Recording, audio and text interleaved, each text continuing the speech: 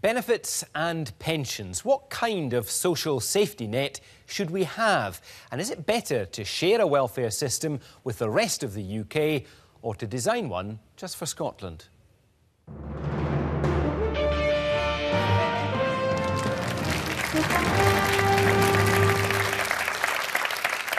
Hello and welcome to the latest in our series of Newsnight debates ahead of next year's independence referendum. Tonight we are talking welfare. Benefits and pensions count for over a third of the UK's public spending. The UK government is undertaking major reforms to the system, in part to cut costs. Have they got it right? And if not, what should the state provide for pensioners, job seekers and those with disabilities? And what state is best placed to provide for Scottish needs? The UK or an independent Scotland? These are just some of the questions we'll try and tackle tonight in conversation with Alex Johnstone, MSP, who speaks on welfare for the Conservatives, the SNP's Jamie Hepburn, who's Deputy Convener of Holyrood's Welfare Reform Committee, Labour MSP Jackie Baillie, who's her party's spokesperson on social justice, equalities and welfare, we're also joined by Eben Wilson of the campaign group Taxpayer Scotland, which is neutral on the question of independence but in favour of radical reform of the welfare system. And Robin McAlpine's here from the left-wing think tank, the Jimmy Reid Foundation. He's also part of the Common Weal project and is personally in favour of independence.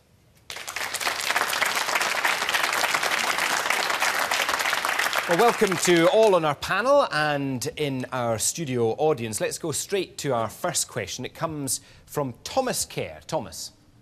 Is it fair that someone who's on benefits can earn more than someone who's in full-time employment? Is that fair? Let's start with you, Eben Wilson. I don't think it is fair, but I don't use the word fair. Um, I think it's one of the things we have to think about in the welfare system. What do we want welfare to be? Do we want it to be a safety net for everybody, or is it a system of redistribution? Personally, I think most people want it to be a safety net. When it's a safety net, these problems where people are earning very large amounts of money because maybe they've got lots of children, I don't think will appear. The interesting thing is, can we actually avoid turning it into a redistribution system because our politicians will keep spending lots and lots of money on welfare to buy votes. Robin McAlpine. I think the question is the wrong way around. I think the question should be how can you work 40 hours a week in Scotland and be worse off in someone than benefits? This is a low pay problem. We have a poverty economy. Um, if you imagine that there's a kind of virtuous part, a virtuous wage that runs perhaps from 25,000 to 35,000 where people are paying taxes and they're, you know, they're buying, they're shopping, they can look after themselves, they're comfortable in their family. Only one in five people in work in Scotland today is in that category. Three out of five working Scots earn less than £25,000 a year, and half of the Scottish population in work earns under £21,000. The problem that we've got is not a problem with welfare. The problem that we've got is a tax base which has been decimated by a poverty economy. We have got to stop accepting a circumstance whereby employers can pay people for a full-time job and the only way that they can survive is through benefit top-ups. We have to take a fundamental rethink of the kind of economy that we're willing to have in this country and so whether we can accept work as poverty. A, a higher basic minimum wage set by, by uh, government? We should absolutely have a living wage, but we also need economic reform. We have far too much low-pay industry. OK, I want to, to bring in some I'd like to bring in some views from our audience, and I'll start, first of all, with the, the questioner. What do you think in answer to your own question? Well, I think it's completely unfair that there's someone, I mean, I, I speak for personal as well, that there's someone who can earn a lot more money than someone that's been working full-time on benefits. Um, my gran and granddad have worked all their lives, and there's people that I know that's on benefits and they earn a lot more than what my grand's earning right now and I think it's completely unfair. The UK government uh, has been phasing in a benefits cap to limit to around £500 a week for a couple, the maximum amount of benefit that they can earn. Do you think they should go further? Yeah, yeah. What would you I set the cap at? I mean, I'm not a politician. I'm not here to speak for the UK government. I'm not ever going to be, well, that will be Prime Minister anytime soon. So I'm not here to try you and never know. Is, well, I hope not anyway. But I'm not here to try and say that this is what I think the cap should be at, but I think it should be a bit higher. OK, thank you very much. And uh, gentleman here? Surely the problem is one that we should be looking at why are people not earning the money? Perhaps too much has been taken away out of their wage packet. We need to encourage people to work. We need to encourage young people to work. When they see that they're being taxed for all sorts of reasons, indirect taxation, be it petrol, be it the tax they pay, national health and insurance, and then they see the waste by governments of all political parties, then we need to change that system and make it rewarding to work. OK, and gentlemen, two rows behind. Yeah. I think that's an excellent answer about the minimum wage. However, um, what happens when you raise the salaries so high and the, the wages so high that all the jobs disappear into Europe? We really have to stop um, thinking of this as a, a country problem and start addressing it as a global one because we live in a global society and the, um, the jobs in Scotland don't necessarily need to stay in Scotland. And as soon as you start to raise the salaries, then the employers go and so do the jobs.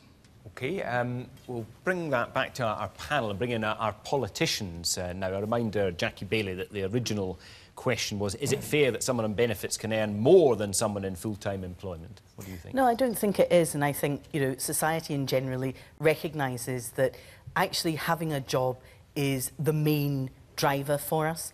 Our ambition isn't simply to say, you know, we'll pay people more benefits. It's about making sure that if people have the opportunity to work, our economy grows. The welfare state has to be there as a safety net, and it's appropriate that it is so. But our ambition should be much, much greater than simply saying we need to put more into the welfare system. It should be about generating employment, generating jobs. I've seen lots of people, unemployed, disabled, who actually get a huge amount of dignity and respect from work. That's what we should be helping people to do. And I agree with Robin. We need to make sure that that work pays. Um, it was Labour, of course, that introduced the minimum wage. Um, it is Labour that's at the forefront of pushing a living wage because we shouldn't have a position where people are working and yet we are subsidising those employers by having to top up their income with state benefits. Jamie Hepburn. Well, let me first of all say, Thomas, I'm not here to speak for the UK government. Ireland. I'm unlikely to be Prime Minister anytime soon uh, as well. But uh, in terms of the uh, question you asked, I suppose it is uh, the way you look at it. Uh, Glenn mentioned the benefits cap, and actually what we know is a minuscule number of people in Scotland are actually going to be affected by the benefits cap. So this off-quoted uh, and off-cited idea that people are living up on benefits isn't actually uh, the reality. I think uh, the point has been made and it's been made fairly. Is, that, is that an argument for a, a tougher cap or for doing something else? No, I think it's uh, the point I was going to on to make, uh, Glenn, is I actually agree with the point that's been made. We have to make work pay more uh, than welfare. And in that regard, we see the Scottish Government instituting the living wage for all those in its employ. And, the actually, living wage is what? The living wage is uh, £7.40, if I've got that correctly. But if you were earning £7.40, wouldn't it still be possible, at least in theory, to bring in more in benefits in certain circumstances? I think it would be theoretically possible. I think the point I'm trying to make, uh, Glenn, is because I think this goes into the rhetoric that's employed around this whole debate. Uh, people are trying to engender this idea that there are lots of people in Scotland uh, living up on uh, benefits, and that simply isn't the case. We know from the, the small number of people who have been hit by the benefits cap in Scotland that isn't the case. I'll tell you what I think is unfair. What I think is unfair that here in Scotland we have a government we didn't elect imposing these welfare reforms that are removing £4.5 billion in welfare payments in Scotland by the year 2014-15, going to remove £1.6 billion from the Scottish economy every year thereafter, imposing a bedroom tax that will affect 105,000 households in Scotland. Okay. And we see people, more and more people having to turn to food banks. That's what I think is unfair, Glenn. Okay. And I have to... I mean, I agree, these are issues that the Tories are bringing forward, but I was slightly confused about Jamie's comments about the benefit cap because he's issued numerous press releases that I've read um, condemning the benefits cap, yet Alex Salmond recently mm -hmm. said that it was a good thing. So, you know, I'm confused as to what the current SNP policy is. Well, I'm, I'm, glad to know that Jackie's reading my press release. I it's do. good okay, to know someone... Cl clarify that, that concisely if you can. Well, I, I don't think there's the, the, the need uh, to see the benefits cap that's been imposed uh, here in Scotland because... in principle, it, are you in the SNP in favour or against the, the benefits cap? I, I, don't think there's any need to see the benefits cap. It's not actually uh, you're, you're against here it. in Scotland. OK, thanks very much. Now, Alec Johnstone is not here to speak for the UK government either, but it so happens he's a member of the Conservative Party, which leads that government. What's your view? You won't be surprised to hear, Glenn, that I agree with the questioner. I think it's appalling that people on about average salaries in Scotland are paying through the nose in taxation in order to support people that could actually get as much, if not more, from benefits. But I'm interested to hear some of the things that have been said along the panel, because the thing we need to achieve is a virtuous circle within the economy in order to make that unnecessary. And that means making some radical changes to the way the economy is run. It means growing the private sector, growing the wealth creating parts of the economy, and shrinking the public sector as a proportion of the whole of the economy.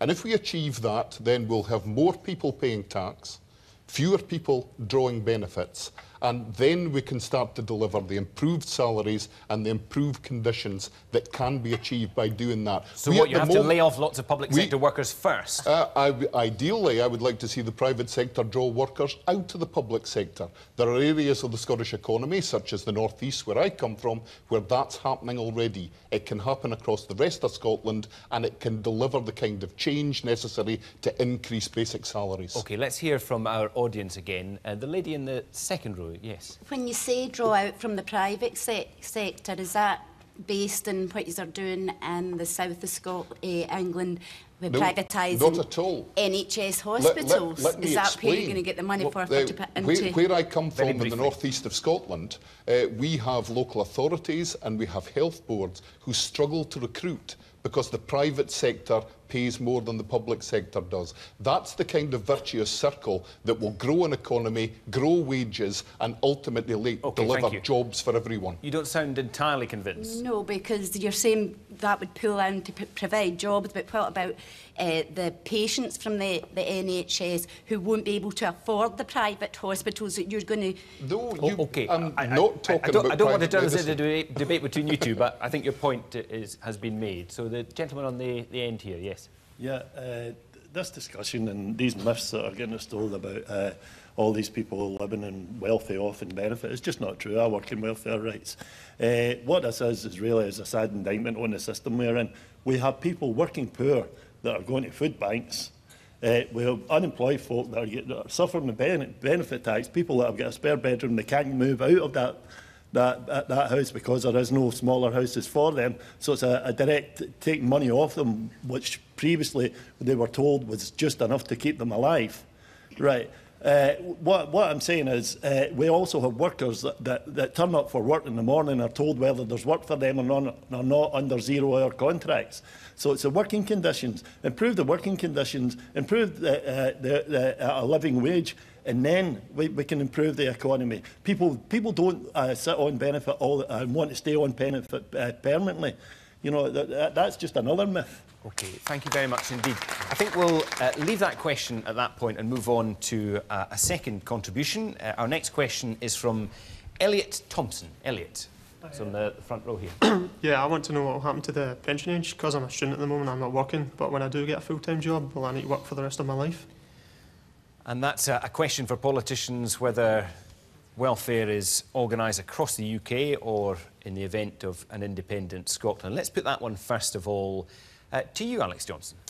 Well, you're worried uh, as a young man. I'm 52 and I'm worried about where my pension's going to come from and when I'm going to get it. The key thing about pensions is to ensure that we have enough wealth within the economy to be able to pay for these pensions. Unfortunately, the state pension isn't like a private pension. It's not invested the money's been used to provide support as it was paid in tax. And that means we have to ensure that the economy is strong enough with enough people working in it to pay the state pension in future. So it is absolutely essential that we maintain critical mass within our economy. That's why I worry about some hypothetical independent Scotland in the future. A, an economy that's dependent on a few key industries, one that could be undermined by changes in the oil price, one that could be undermined at any time by uh, fluctuations in the world economy and doesn't have the capacity to maintain pension payments. OK, now that's your, your fear in the event of independence, but the status quo is a UK-wide system and, you know, Elliot is still asking the question, is he going to have to work until his dying day? I think we're all going to have to work a bit longer. I think the current system was designed in a circumstance where many people in work were able to pay for a few who had pensions. We now all live a lot longer. Uh, and in order to achieve the objective of having a worthwhile pension, which is a key commitment to the current Conservative government in Westminster, then we must expect to contribute a bit more. But we need more people working, we need more people contributing, so that ultimately there is the greater level of stability necessary to guarantee these pension payments. The state retirement age is to creep up. Is there a, a maximum, do you think, at which it shouldn't uh, go I think, further? I think the current government commitment uh, is a, an appropriate age for it to take place. But, but if we find ourselves 20 or 30 years down the line, uh, we may have to reassess that in some future government in order to take into account the fact that we may even be living longer. Jamie Hepburn.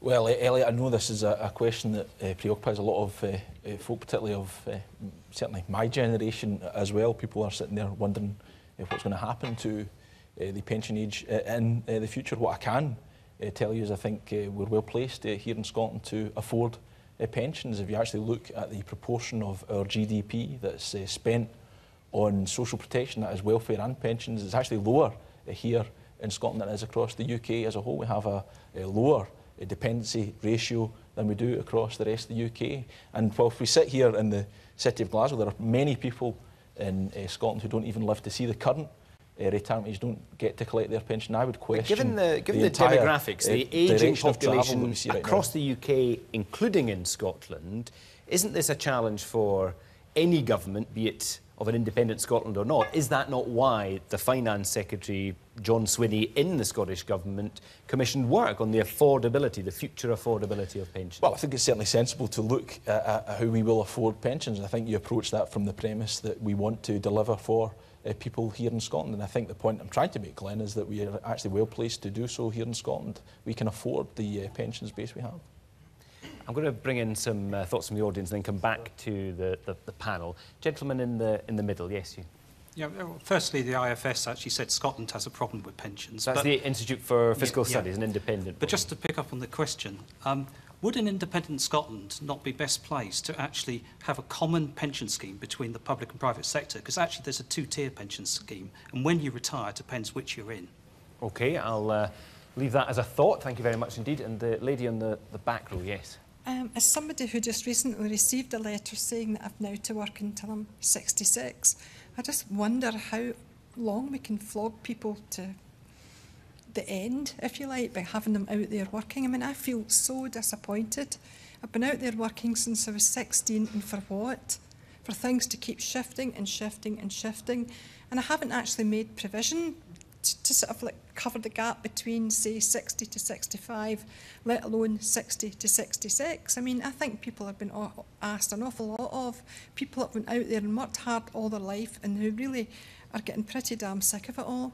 Thank you very much. Jackie Baillie.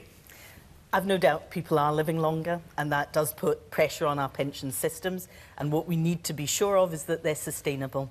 The way to do that, in my view, is to have a pension system that is across the UK because you then share the risks, you share the rewards, and you pool resources. And that's a fundamental principle that I think you know, applies here. Um, with pensions, it accounts for two thirds of the social security budget. And because we are living longer, the numbers of people who will be eligible for pensions will increase. And we need to make sure, as I said earlier, that that, that is sustainable.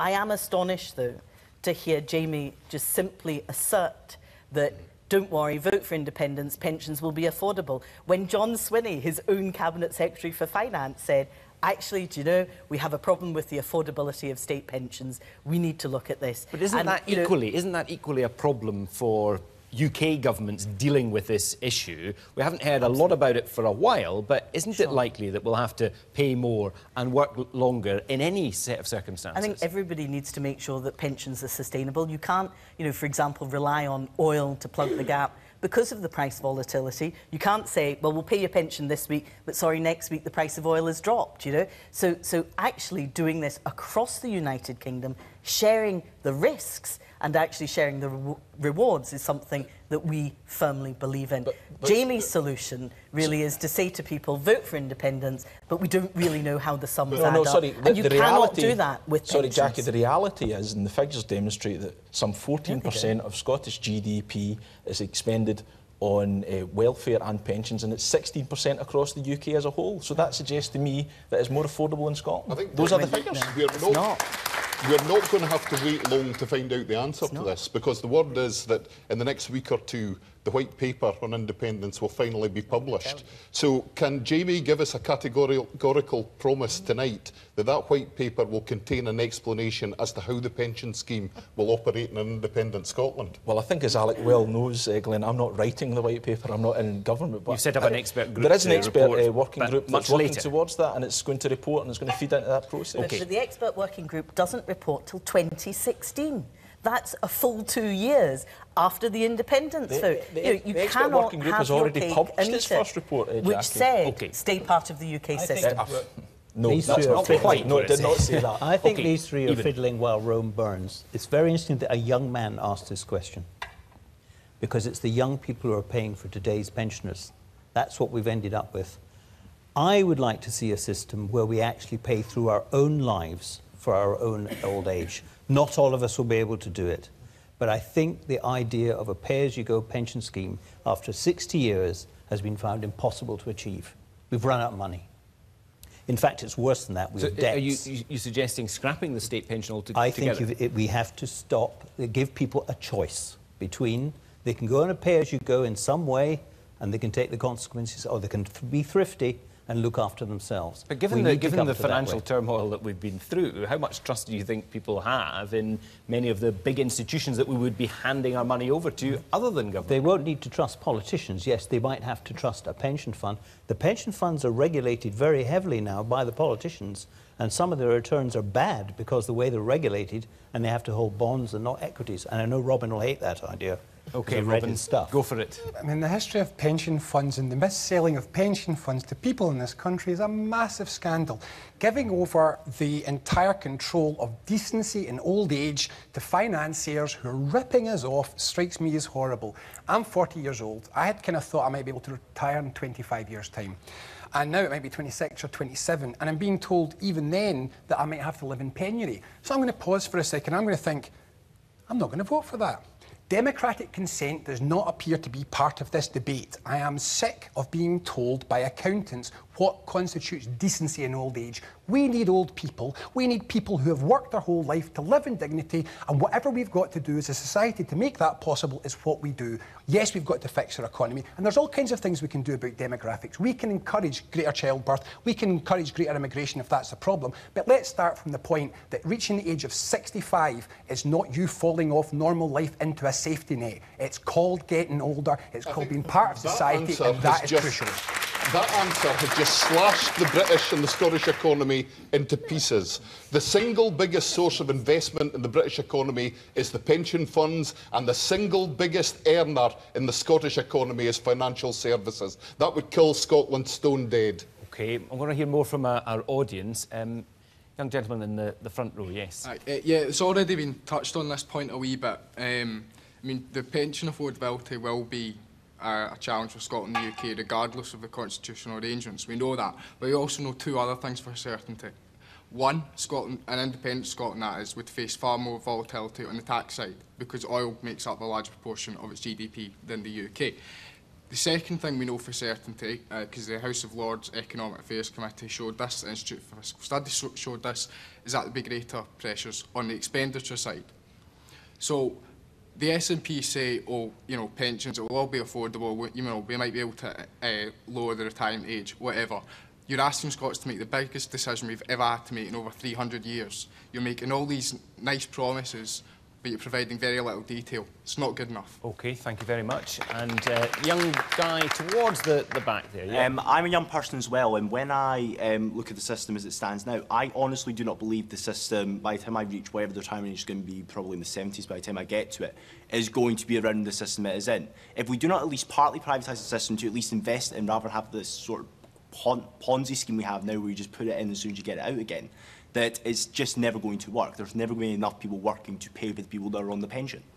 Okay, and let's go back to the, the original um, questioner, E- Elliot. Um, what do you think is going to happen, almost regardless of the, the constitutional question?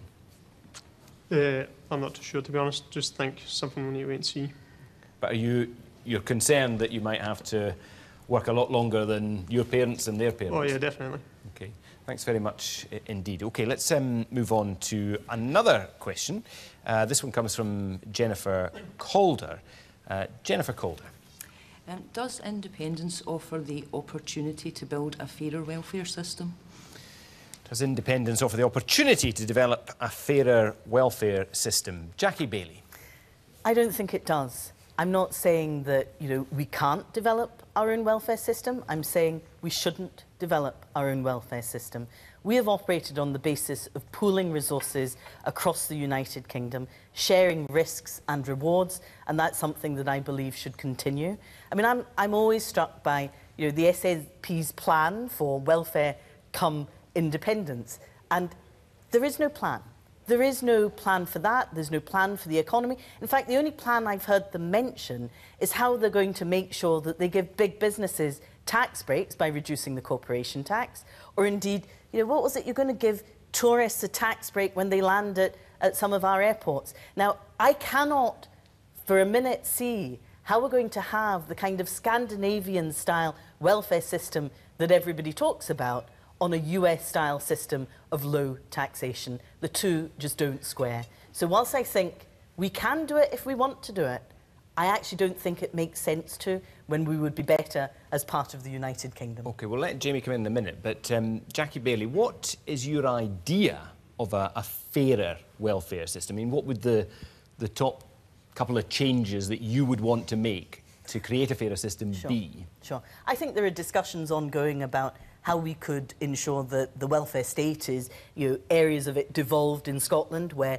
there is an impact on local policy. But, do you know, I come to the, the, the position from saying that it needs to be based on need, not on nationality, not on geography, not on the constitution, but across the United Kingdom, actually dealing with people's needs. Because for me, it's about people, it's not about geography, and it's not about the constitution. But is there, is there something that you would do if you were in charge tomorrow, either in Scotland or across the UK? What would be the first thing you would do to well, make would the system certainly, fairer? I, I would deal with the bedroom tax, frankly, um, because I'm very clear that we should scrap the bedroom tax. I'm equally clear that the SNP Is that now Labour Party policy both power- in have Scotland the and the let, UK? Let, let me just say to you, have the power to do something about that now. They can stop evictions, they can put money in place to help housing associations and councils. We've heard the most appalling stories over the last week about people threatened with eviction.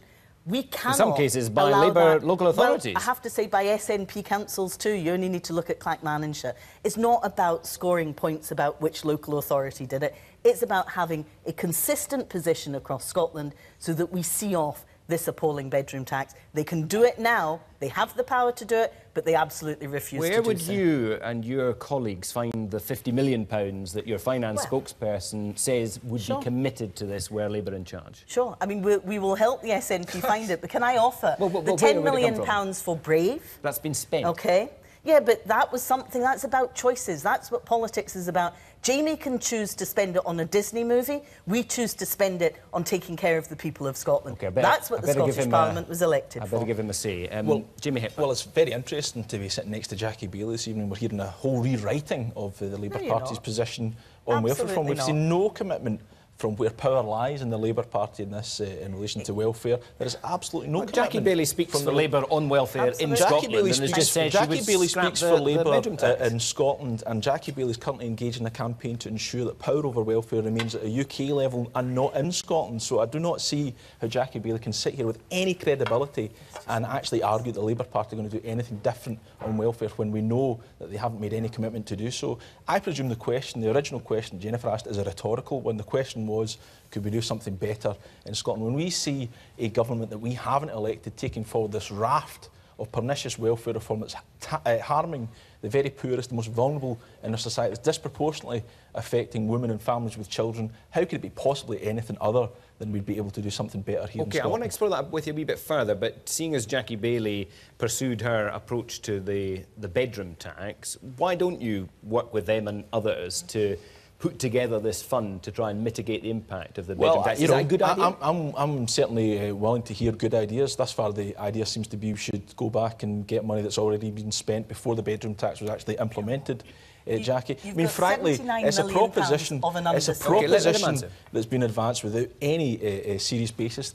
Jackie no. cannot say where that money is going to come from. She refused to say. Is it going to come from health? Is it going to come from education? Is it going to come from the raft of measures that the Scottish Government's already taken to mitigate against welfare reform, be it uh, instituting the council tax reduction scheme or okay. the Scottish Welfare Fund? Right. Frankly, Glenn, I don't think mitigation is good enough. We need to take power and control over welfare here in Scotland so we can deliver a better okay, system. and how would you make it fairer?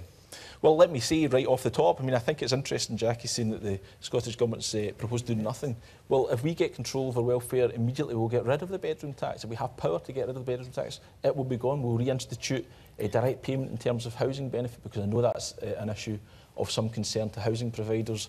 Uh, uh, uh where the UK government has taken away direct payment of housing benefit. But with respect, I mean, these, these, are important issues, but they're not the, they're, the big ticket questions hugely in, in important. Now, we have the expert uh, group on uh, welfare reform that's uh, sitting devising. So you're waiting for them to tell a, you what I'm, I'm, I'm, to do? I, I think we uh, have an expert group that's drawn from civic society and uh, people with uh, a benefit of their expertise, and I look forward to seeing what they propose. Okay, thanks. Thanks very much indeed. Yes, go ahead. I, I think it's very interesting that you've got three politicians who are, as you say, talking about the little issue which is who's got this money, who's got that money, what are we going to do with this money?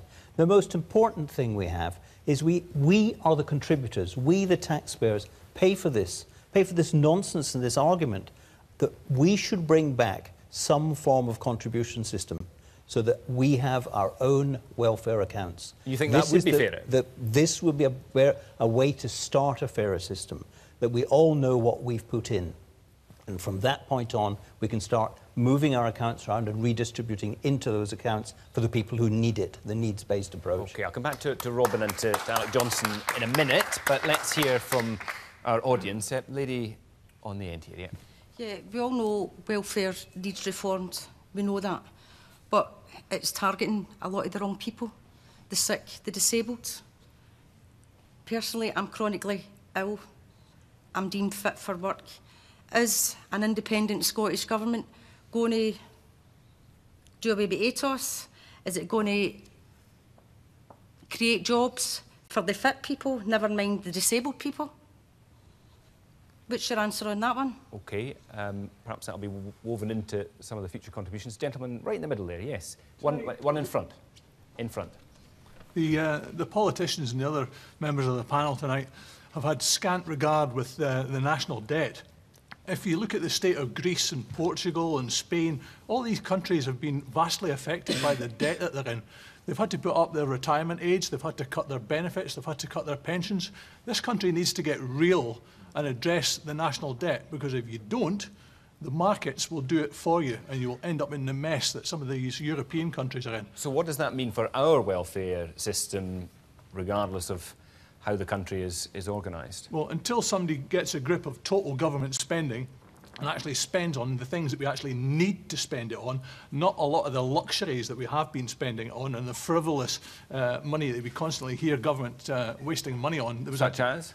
Well, there was a, a good article in a paper today suggesting that if more uh, use was made uh, of electronic means, we could save £70 billion across the UK that would be money for welfare if uh, the government of the day so choose. Thank you very much indeed. Um, lady on the end here in the green.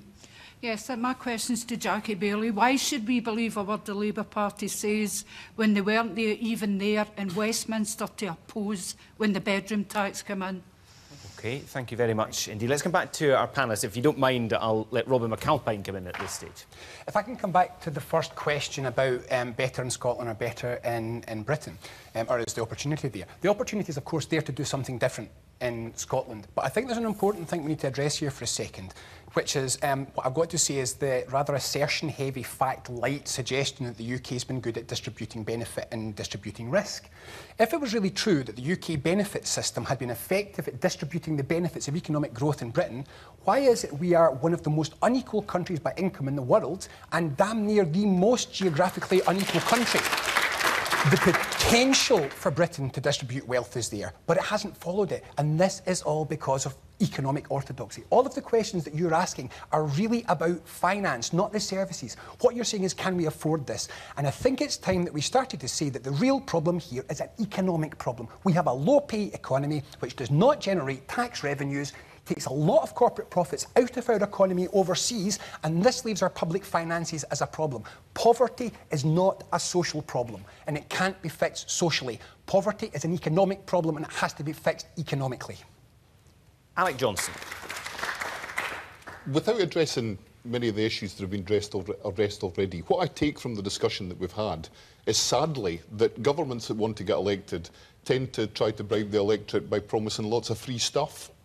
And what we have at the moment is a moment of economic reality in the United Kingdom when no party seems to think anybody will believe it if it just promises free stuff, except perhaps the SNP who take this jam tomorrow attitude with everything. Now, my worry is that we don't have an economy that can properly generate the resources necessary to maintain the welfare state. But we have a plan. In Scotland or in the we, UK? We, we have a plan. The Labour Party have an alternative plan, an alternative policy. But what we're hearing from the SNP is the assertion that it will be okay. But I'm not hearing anything that demonstrates that it will be okay. We're not getting facts. I'm looking forward to that white paper when it comes in a few weeks' time. And if there are no facts in it, then I think Jamie will be left with no defence for his position at all. But if you could just clarify, you, you said you were concerned about not having enough money to provide the sort of system you would like to see. Did you mean that in the event of independence or in terms of the UK as a whole? In terms of the UK policy, then it's necessary for us to uh, change the way that we run the country. And I believe that the current government in Westminster are dealing with that radically. We have a growing economy. We have an economy that's changing balance from public to so private your concern sector. is if we became and independent? I believe, I believe that we are achieving.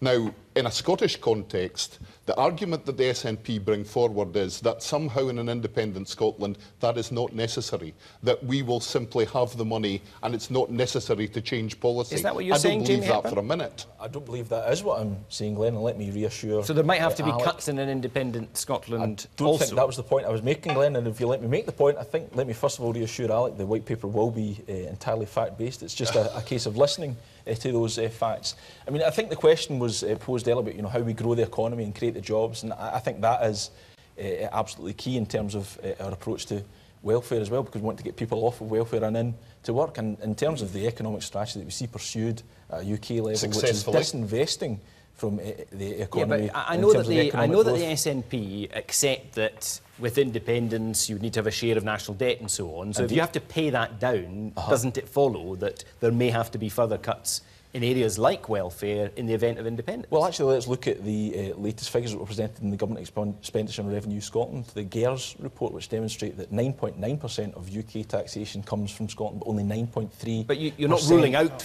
further 90 savings on 9.3% welfare. of UK expenditure. So actually remaining in the UK increases our indebtedness. That's the point. Okay, thank you very much indeed. We are getting into our final minutes. I want to move on and try and squeeze in another question and more of your contributions from the audience. Uh, Claire Duncan is our next contributor. Claire. Today, food banks are a lifesaver for many families on the poverty line. Does the panel think the prominence of food banks is a sign that the welfare system no longer helps those most in need? Is the prevalence of food banks a sign the system no longer helps those most in need? Robin McAlpine. It's a sign that the economy is wrong. Um, Alex said that we've just reached economic reality in the UK. Well, if that's reality, I don't know what surrealism looks like. We have an economy in the south of England which is being overheated again by inflating house prices to make it look like everything's okay, and it really isn't. We have a massively faltering economy. I can only say again that successive governments have pursued policies which favour low pay employment because they create jobs fast. We need to change track altogether. We need to learn from people who've done this better. And there's a fundamental mistake which is being made here, which is who has done this? Because it isn't countries who cut back their welfare state. It's categorically not countries who cut back their welfare state of the better economic performance. Almost all the countries which are above us in international competitiveness, on productivity, on uh, ending poverty, they have higher rates of tax. A welfare state is a very effective way of distributing money across the economy and it creates all kinds of jobs and income. OK, Eben. The problem is, not all countries charge an employer 13.8% to hire somebody. If there's anything that can create youth unemployment, it's high taxation.